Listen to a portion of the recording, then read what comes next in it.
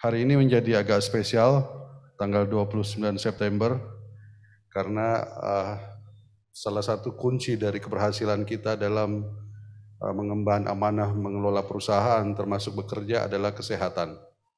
Kesehatan kita tahu uh, menjadi mahal kalau dia tidak ada. Kita baru bisa menghargai kesehatan begitu kesehatan itu tidak ada. Dan seperti kita ketahui juga lebih mudah menjadi sakit daripada menjadi sehat.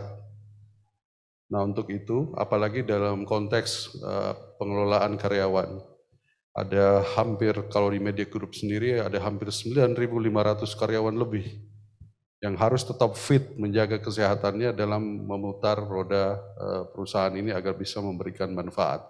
Salah satu penyakit yang cukup mendapat perhatian serius yang dulunya biasanya uh, kita dengar sebagai penyakit orang tua, tapi makin ke sini justru di usia muda juga sudah banyak yang apa, mengidap atau terpapar dari penyakit ini.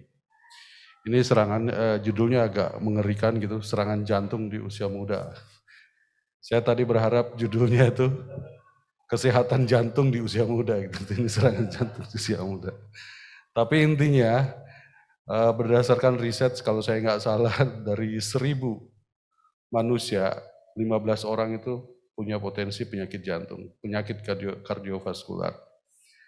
Kalau sudah umur 40 ke atas, 35 ke atas, biasanya sudah mulai tensi, sudah mulai dan segala macam. Apalagi konteks pekerjaan kita sehari-hari dan seterusnya. Nah, makanya hari ini menjadi penting agar kita kemudian bisa mendapatkan apa uh, tips, kemudian bisa dapat alert warning system, bagaimana kemudian bisa mendapatkan menjaga kesehatan jantung kita. Yang kedua, buat media group, kesehatan menjadi sangat penting. Kita menaruh perhatian penuh terhadap pemulihan termasuk menjaga kesehatan karyawan. Insya Allah Pak Adri, Bang Don, di belakang kita ini ada apa, media klinik, kita akan kembangkan. Insya Allah menjadi klinik pertama nanti. Jadi semua ada beberapa titik yang akan kita kembangkan, kita kerjasama dengan pihak ketiga, yang nanti insya Allah ini akan menjadi sebuah uh, rumah sakit yang serius. Di Kedoya ini ada sekitar 2.300 karyawan yang setiap hari terus bekerja 24 jam, bukan cuma office hour. Belum tamu yang datang ke gedung ini ada 1.300 lebih dalam satu minggu. Semuanya butuh screening, butuh kesehatan, butuh dijaga, dan butuh pengobatan. Untuk itu kesehatan, pengobatan, klinik menjadi sangat serius buat kami di Media Group. Yang kedua, karyawan buat kami adalah aset. Aset di sini artinya apa? Harus tetap dirawat, ada maintenance-nya, bahkan kemudian dijaga untuk terus makin hari makin baik. Nah, ini yang penting, penting sekali buat kita garis bawahi. Tanggal 29 September, hari ini diperingati sebagai Hari Jantung. Nah, ini yang kira-kira saya menyambut baik acara ini dan mungkin ini kalau bisa bukan cuma karena hari jantung, kalau bisa ini dilaksanakan setiap bulan. Umpamanya bulan ini adalah tentang kesehatan jantung, bulan depan mungkin tentang gula darah, bulan depan ini agar kemudian literasi kita tentang kesehatan makin baik dari hari ke hari gitu.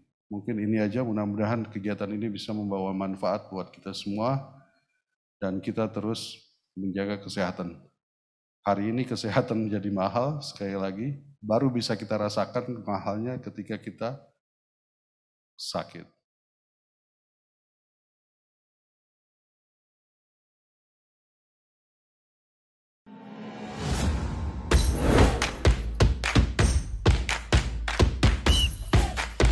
Bubur ayam kalau diaduk-aduk jadi cair. Seriously, diaduk kayaknya ya.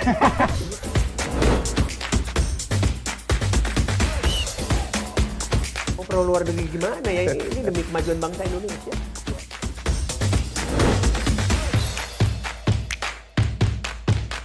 Isu kebangkitan uh, PKI ini uh, dihentikan.